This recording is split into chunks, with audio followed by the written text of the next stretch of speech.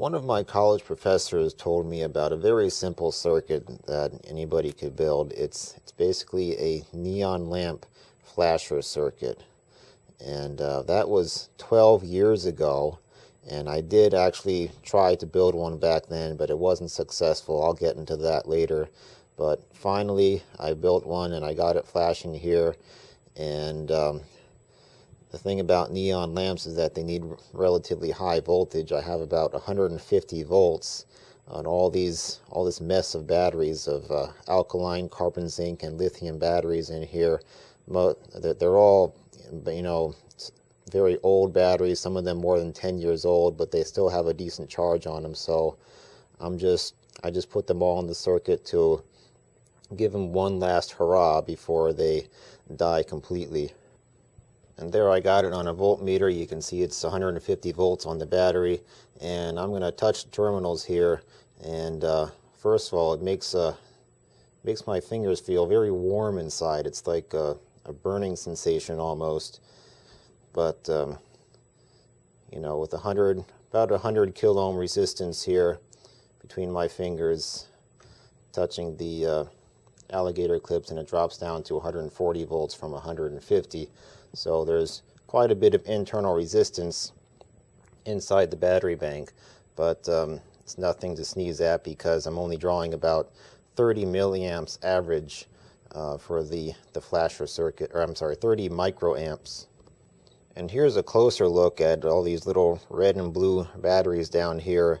It's the Eveready number 411 15 volt carbon zinc battery, you you you think that it would be totally obsolete, and in fact, I think it is. I did some research, and apparently, it's not made anymore. But you can still buy them for a whopping price of twenty dollars each.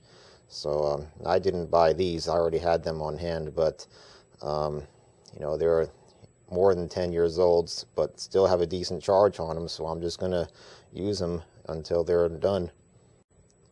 And here's the book where I figured out how to make this thing work. I showed showed this in a different video, but it's the GE Glow Lamp Manual. Everything you ever wanted to know about neon lamps is right in here.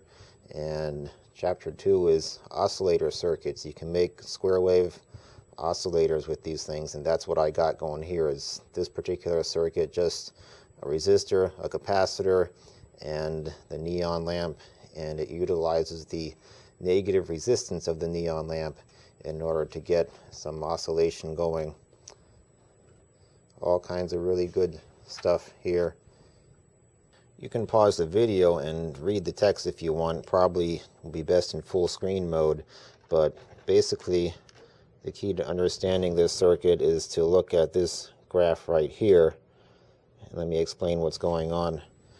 This is this is the circuit I got going over there and we got current on the horizontal and voltage on the vertical axis. And this line right here that's the characteristic curve of the uh, of the neon lamp the the voltage across it and the current going through it. And you can see that if you increase the current going through it then voltage reaches a maximum until it starts to conduct and it actually glows and you know actually has the plasma discharge in there on the terminals. And that's when it goes down through this negative resistance region. And if it was just on all the time then it would just stay down here. Um, but basically for the oscillator circuit you also have to consider the load line of the resistor. Here's three different load lines um, if your load line look like this, if your resistance is too high, then it's not going to turn on at all. It, will never actually uh, flash. It'll never actually you know, have the glow plasma inside. If you have a load line like this, which is what I had 12 years ago when I first tried building it, and I just used the typical 33 kilo ohm resistor that you would find on any neon lamp these days but um, basically it was always on.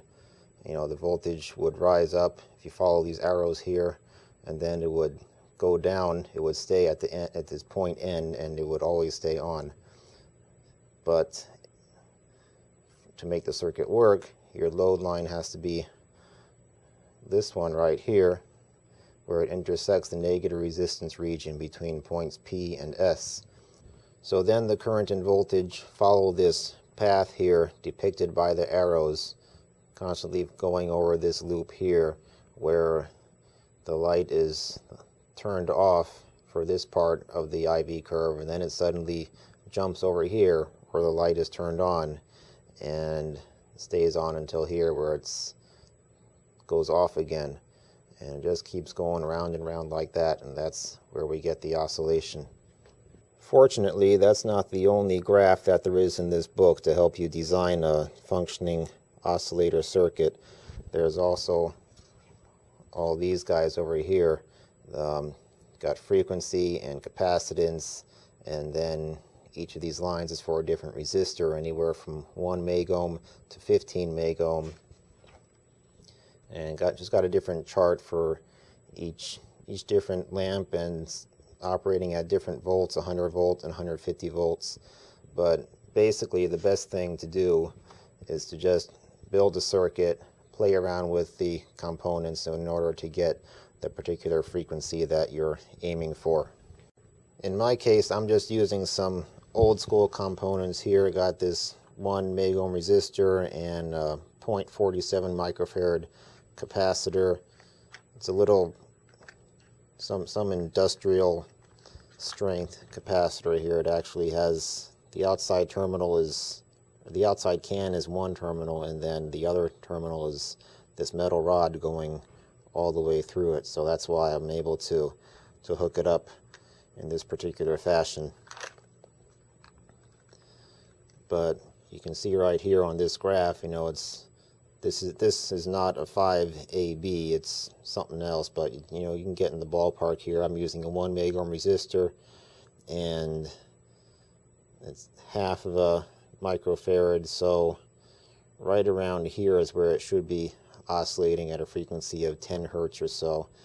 Um, in fact, this is going at more like 2 hertz, but and that's exactly what I wanted. I just wanted a very steady flash like this once every one or two seconds and the flash rate will go down as the batteries drain but um, if these batteries were all brand new then I could expect this thing to last continuously for a year or more. But uh, we'll see how many weeks or months I actually get out of these batteries. I might have to replace a few of them because um, they're going to drain at different rates. But that's it. That's my neon lamp flasher circuit. Thanks for watching